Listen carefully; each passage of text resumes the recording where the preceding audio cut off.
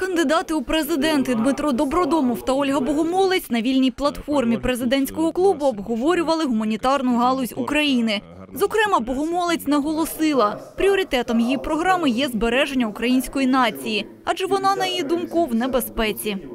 Якщо ми беремо тенденцію, і якщо ми її не змінено, не змінимо, а я можу її змінити.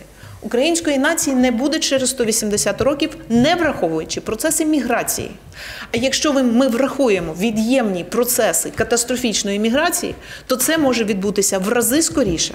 Дмитро Добродомов виступав за свободу преси та захист працівників медіа, які останнім часом зазнають утисків.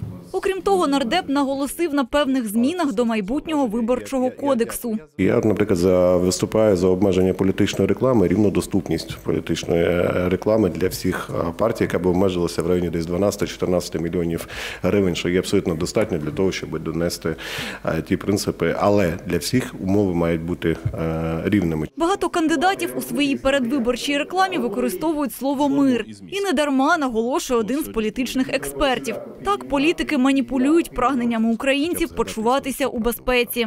Його підігрівають постійно і підігрівають нав- навмисно, тому що насправді е, ніколи ще за всю історію України не було виборів настільки е, залежних від воєнних дій, як і не було воєнних дій настільки залежних від виборів. Що мені не дуже подобається, що в нас е, всі хочуть кандидати бути популярними серед народу, серед громадян і подобатися цим громадянам. І мало хто озвучує ті тези, які є не дуже популярними. Наступного тижня відбудеться останнє засідання президентського клубу. Вже 31 грудня стартує виборчий процес. Кандидати у президенти розпочнуть офіційну реєстрацію.